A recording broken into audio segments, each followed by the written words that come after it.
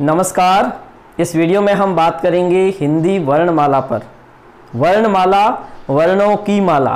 वर्ण किसी भी भाषा की सबसे छोटी इकाई होती है और उसी के आधार पर ही किसी भी भाषा का व्याकरण निर्धारित किया जाता है।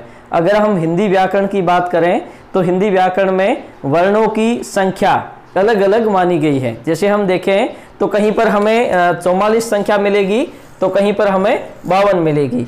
इस अंतर को समझने के लिए आपको इतना समझना है कि हिंदी में उच्चारण के आधार पर वर्णों की संख्या चौवालीस है और लेखन के आधार पर हिंदी में वर्णों की संख्या बावन है। अब जैसे चौवालीस जैसे तैतीस प्लस ग्यारह ग्यारह स्वर और तैतीस व्यंजन, ये मिला के होते हैं चौवालीस चौवालीस तो उच्चारण के आधार पर है। इसके अलावा चार संयुक्त व्यंजन, जिसे हम इसके अंतर्गत गिनते हैं। उसके बाद में, इसके अलावा अगर देखा जाए तो ये हो गए चौवालीस और चार अड़तालीस। उसके बाद में दो ध्वनिया अयोग है, जिसे हम अनुस्वार और विसर्ग कहते हैं। और उसके बाद में दो ध्वनिया है, जिसे हम द्वित्व व्यंजन कहते हैं। डे और ढे दो प्रकार से लिखा जाता है। इस प्रकार से आप देखोगे तो हिंदी में वर्णों की संख्या है। वो उच्चारण के आधार पर चौवालीस है और लेखन के आधार पर बावन है। अब हम बात करेंगे कि वर्णों में भी दो भेद होते हैं। कौन कौन से? एक होता है स्वर, दूसरा होता है व्यंजन। स्वर का मतलब है कि वे ध्वनियाँ जो स्वतंत्र रूप से बोली या लिखी जाती है, जिसके लिए किसी अन्य ध्वनि की आवश्यकता नहीं होती है। व्यंजन की सामान्य परिभाषा, जैसा कि आप सबको पता होगा कि जिस ध्वनि के लेखन या उच्चारण में स्वरों की सहायता की आवश्यकता होती है तो उसे हम व्यंजन ध्वनिया कहते हैं। तो हिंदी के स्तर पर अगर देखा जाए तो हिंदी में स्वरों की संख्या 11 मानी जाती है। हिंदी में स्वरों की संख्या 11 है और ग्यारह 11 में भी इसके दो भेद किए गए हैं। कौन कौन से? दीर्घ ध्वनिया और रीश्व ध्वनिया रिश्व ध्वनिया जिनके उच्चारण में थोड़ा कम समय लगता है, अल्प समय लगता है, और वे ध्वनिया जिनके उच्चारण में थोड़ा ज़्यादा समय लगता है, उन्हें हम दीर्घ ध्वनिया कहते हैं। रीश्व ध्वनियों में अ ई उ और री है। उसके बाद में दीर्घ ध्वनियों में आ ई उ, ए ऐ ओ, औ, ये सभी है वो दीर्घ ध्वनिया है। उसके बाद में अगर देखा जाए तो स्वरों के भी मुख्यतः दो भेद किए जा सकते हैं। एक होता है मूल स्वर और दूसरा होता है संध्य स्वर। मूल स्वर का मतलब जो मूलतः ही लिखे और बोले जाते हैं, किसी अन्य ध्वनि की सहायता से या फिर किसी अन्य के ध्वनियों के मेल से ये नहीं बनते हैं। जैसे, अ ई उ और री। संध्य ध्वनियों का मतलब संध्य मतलब दो या दो से, दो स्वरों के मेल से एक अन्य स्वर का निर्माण होता है तो होता है संध्य ध्वनि। संध्य के भी दो भेद होते हैं। एक होता है दीर्घ स्वर, दूसरा होता है संयुक्त स्वर। दीर्घ का मतलब जैसे समान स्वर आपस में मिलकर एक नए स्वर का निर्माण करते जैसे ए और अ मिलकर आ का निर्माण करेंगे और ई और ई मिलकर ई बड़ी ई का, उ और उ मिलकर बड़े उ का निर्माण करते हैं। तो यहाँ पर आपने देखा ये है दीर्घ। उसके बाद में संयुक्त। ये समान स्वर न मिलकर, बल्कि असमान स्वर मिलकर एक नए स्वर का निर्माण करते हैं। जैसे ए ए ओ, औ। ठीक है? तो ए, अ और ई से ए बना, अ और ए से आई बना, अ और ऊ से ओ बना, और अ और ओ से औ बना। इसी के आधार पर इसका वर्गीकरण हम कर सकते हैं। उसके बाद में कहीं किसी किसी जगह पे आपको मिलेगा जीवा की स्थिति के आधार पर स्वरों का वर्गीकरण। जैसे कि आपने देखा होगा कि जब किसी भी आ, कभी भी आप किसी भी ध्वनि का उच्चारण करते हैं तो हमारी जीभ प्रत्येक ध्वनि के उच्चारण में एक जगह नहीं रहती है। उसी के आधार पर हमने इसके तीन भेद किए हैं। अग्र मध्य पश्च। जब किन्हीं ध्वनियों को आ, के उच्चारण में हमारी जो जीभ है वो आगे के स्तर पर आ जाती है मुँह के आगे आ जाती है तो उसे उस स्थिति में हम उसे अग्र ध्वनिया कहते हैं। ई ई ए आई और री। उसके बाद में मध्य। हमारे किसी भी ध्वनि के उच्चारण में जीभ की स्थिति मध्य भाग में होती है तो उसे हम मध्य ध्वनि कहते हैं, जिसके अंतर्गत हिंदी में अध्वनि आती है। उसके बाद में तीसरा प्रकार है, जिसे हम कहते हैं पश्च ध्वनि। मतलब किसी ध्वनि के उच्चारण में जीभ की स्थिति मुँह में पश्च, अंतिम छोर पर होती है तो आ, उ उ, ओ, ऐ, ये ध्वनियाँ हैं, जिसे हम जीवा की स्थिति के आधार पर वर्गीकरण करते हैं। उसके आद, उसके बाद में आता है कि किसी भी ध्वनि के उच्चारण में आपके मुँह की स्थिति क्या होती है? मुँह के खुलने के आधार पर। वो पूर्ण रूप से खुला हुआ है आधा खुला हुआ है किस प्रकार से खुला हुआ है? इसके आधार पर इस ध्वनियों का वर्गीकरण किया गया है। इन ध्वनियों के चार भेद किए गए हैं जिनमें संवृत ध्वनि अर्ध संवृत ध्वनि विवृत ध्वनि अर्ध विवृत ध्वनि।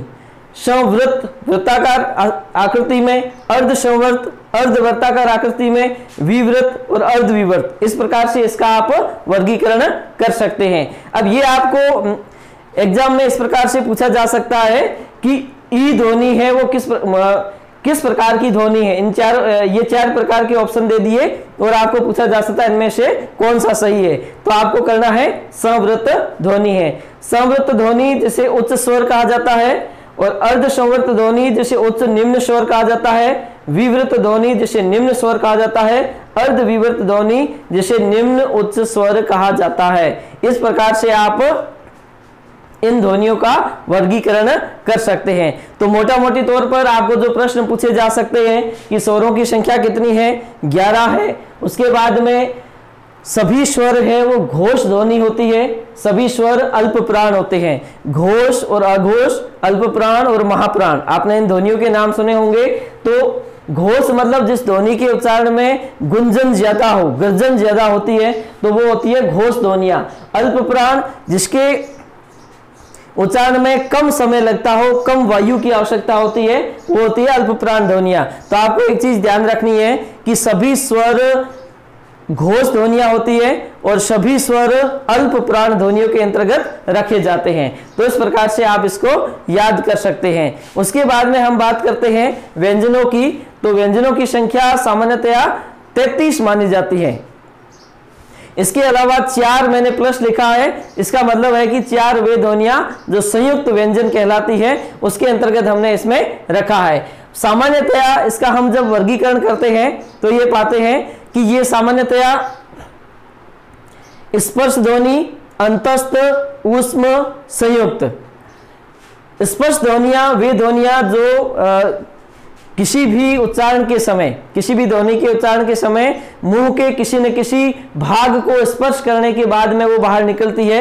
तो स्पर्श ध्वनिया है। स्पर्श में क से लेकर मैं तक मतलब क वर्ग पूरा च वर्ग पूरा ट वर्ग पूरा त वर्ग पूरा और प वर्ग पूरा इस प्रकार से 25 ध्वनिया है जो स्पर्श ध्वनिया कहलाती है। उसके बाद में अंतस्थ अंतस्थ में य, र, ल, व। उसके बाद में उष्म उष्म का मतलब होता है गर्मी, जिसके उच्चारण में मुँह में गर्मी की उष्म की स्थिति उत्पन्न हो तो श श, स, ह।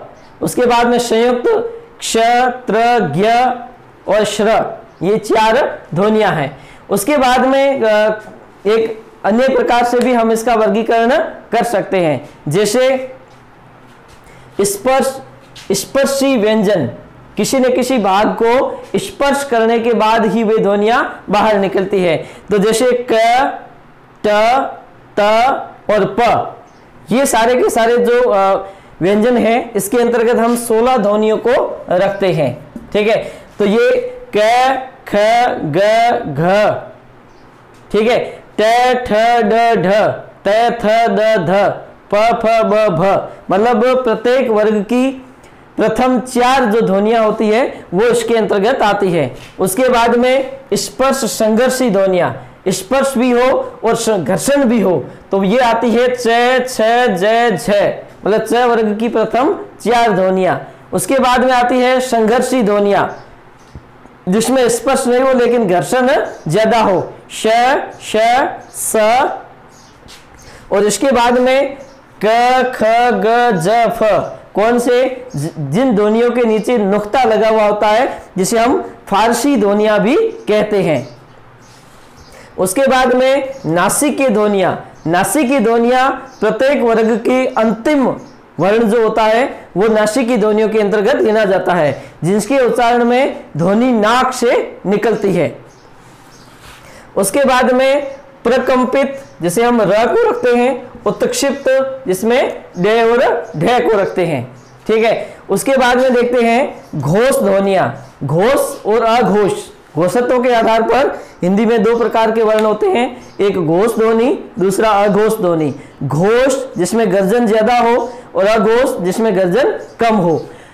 घोष ध्वनियों के अंतर्गत प्रत्येक वर्ग का तीसरा, चौथा और पांचवा वर्ण। जैसे, क वर्ग का देखें तो क और ख को छोड़ दो, गे, घे इसी प्रकार से प्रत्येक वर्ग का तीसरा, चौथा और पांचवा वर्ण है ये घोष ध्वनि के अंतर्गत आता है। इसके अलावा, य, र, ल, व और है। ठीक है? ये ध्वनिया कौन सी कहलाती है? घोष ध्वनिया कहलाती है। उसके बाद में ए घोष ध्वनिया पहला और दूसरा वर्ण श श, स, ये सभी है वो अघोष ध्वनि है। इसके अलावा घोष ध्वनियों में सभी स्वर घोष ध्वनियों के अंतर्गत आते हैं। उसके बाद में प्राणत्व के आधार पर हिंदी में दो प्रकार की ध्वनि होती है, एक अल्प प्राण ध्वनिया और दूसरी महाप्राण ध्वनिया। अल्प प्राण जिसमें कम समय लगता हो। दू, दूसरा महाप्राण जिसमें ज़्यादा श्वास खींचने की आवश्यकता होती है। अल्प प्राण में प्रत्येक वर्ग का पहला तीसरा और पांचवा वर्ण। उसके बाद में य र ल व। उसके बाद में महाप्राण ध्वनियों के अंतर्गत दूसरा और चौथा वर्ण जैसे क वर्ग में देखा जाए तो क ख ग घ ठीक है? तो ये एक, तीन और पाँच, ये तो सभी हो जाएँगे अल्प प्राण। ठीक है? और ये हो जाएँगे महाप्राण। ठीक है? इस प्रकार से आप इसको समझ सकते हैं। इसके अलावा श श, स, ह, ये सभी ध्वनिया है, ये महाप्राण के अंतर्गत आती है। उसके बाद में मूलतः जो वर्गीकरण किया जाता है, वो उच्चारण स्थान के आधार पर वर्गीकरण व्यंजनों का या पूरी वर्णमाला का किया जा सकता है। जैसे कि आप जब कभी भी किसी भी ध्वनि का उच्चारण कर रहे हैं तो मुँह के किस भाग से वो ध्वनि निकल रही है, इसी के आधार पर हिंदी में ये जो वर्गीकरण किया जाता है, ये उसी के आधार पर किया जाता है। जैसे कंठे ध्वनिया, जिसका भाग है वो कंठ है। जिसका कौन सा भाग है? कंठ है। कंठे ध्वनिया जो कंठ से निकलती है। कंठे में क वर्ग पूरा, अ, आ, है और विसर्ग, ठीक है? ये सभी किसमें आते हैं? कंठे में आते हैं। उसके बाद में तालव्य ध्वनिया। तालव्य मुँह के पिछले हिस्से का ऊपरी भाग जो होता है, जिसे हम तालु कहते हैं, वहाँ से जो ध्वनि निकलती है, उसे हम तालव्य ध्वनिया कहते हैं। इसके अंतर्गत च वर्ग, च, छ, ज, झ उसके बाद में य और श, ई और बड़ी ई। ये सभी किसमें आते हैं? मूर्धन्य में।